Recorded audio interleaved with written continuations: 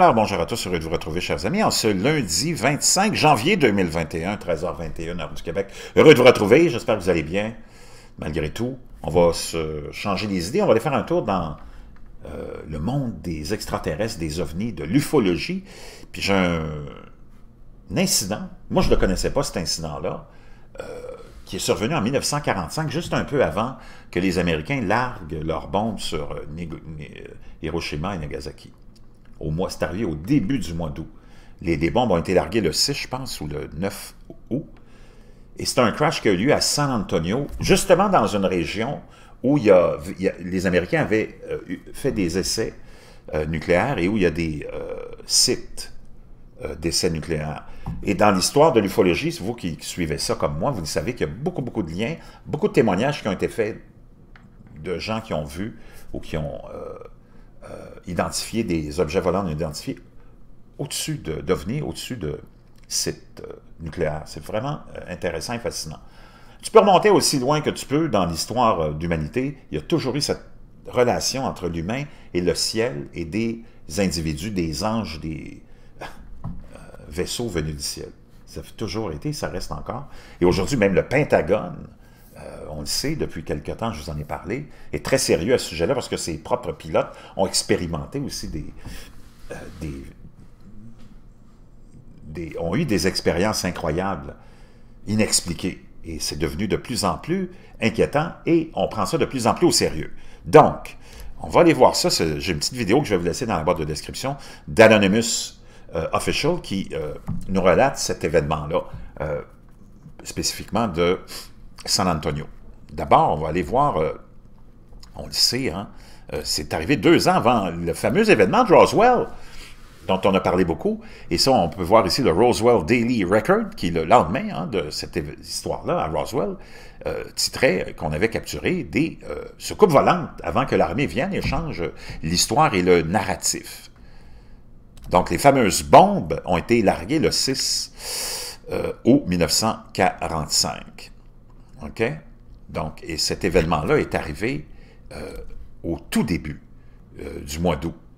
Et c'est le fameux crash d'OVNI euh, de San Antonio en 1945. Le cas des témoins suivants, Rem Becca et José Padilla, nés aux abords de Ground Zero, vivant l'autre de la zone 51. Deux petits-enfants hispaniques ont reçu, ont vécu un événement extraordinaire et ont été témoins d'un crash de soucoupe volante sur le terrain de Padilla dans la ville de San Antonio, au Nouveau-Mexique. Ils ont été témoins de l'un des événements les plus spectaculaires de l'histoire.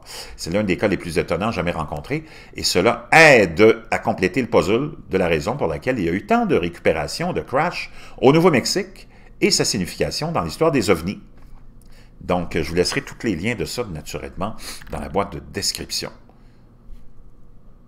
Et euh, c'est bien, bien détaillé. C'est une femme, Paola Harris, une journaliste enquêteur, j'ai un lien de elle aussi que je vous laisserai dans la boîte de description, qui raconte euh, et qui est allé rencontrer un de ces survivants-là. Je pense qu'il en reste un, c'est José Padilla. Et ils auraient même eu en leur possession euh, des débris. Et ils racontent comment l'armée est venue pour cacher tous les débris, ramasser tous les débris, naturellement. Puis on a allégué encore une fois que c'était sûrement euh, des ballons atmosphériques. On a trouvé une explication euh, naturellement, du côté de l'armée américaine, en août 1945, deux ans avant l'incident de Roswell, il y a eu un crash devenu similaire, sinon parallèle, non loin de la petite communauté du Nouveau-Mexique de, San Antonio. Donc, euh, fascinant. Apparemment, on aurait même une lettre, euh, mais là, comme je vous dis, comme dans tout ce qui concerne ce sujet-là des ovnis, il n'y a pas de, de preuves euh, définitive de quoi que ce soit, ni de leur existence, ni de leur non-existence, ni de la véracité de ces témoignages-là, ni de le, du fait que ces gens-là mentent. C'est une question de confiance, c'est une question de foi aussi. Il faut jamais prendre tout à la... prendre tout, faut tout prendre à la légère, pas trop sérieusement, mais s'intéresser, faire des recherches, puis arriver à ses propres conclusions, parce que dans ce domaine-là, c'est pas comme euh, une observation scientifique. Euh, on a affaire ici à des témoignages, on a affaire à des gens maintenant de l'armée américaine qui ont témoigné avoir vécu des, expériences et de nombreux témoignages, autant de l'armée américaine, de l'armée euh, ex-armée, de l'ex-armée soviétique, des gens euh, de l'armée française aussi, des hauts gradés qui nous parlent de ça de plus en plus. Donc, c'est une question de foi puis de, de confiance. Mais ces gens-là, tu ne peux pas avoir tout ce monde-là qui délire en même temps, puis qui ment en même temps. Donc, ce que je voulais surtout vous rapporter concernant cet incident-là, c'est le fait que, euh, et dans une lettre apparemment, comme je vous le disais, qu'on allègue être, mais qui pourrait être un faux document aussi, Einstein et Oppenheimer ont écrit au groupe à l'époque MJ12, qui avait été euh, créé par euh, justement Truman, le président Truman, pour enquêter sur toutes les histoires d'OVNI. Il avait écrit, ces deux-là, Einstein et Oppenheimer, qu'on devrait peut-être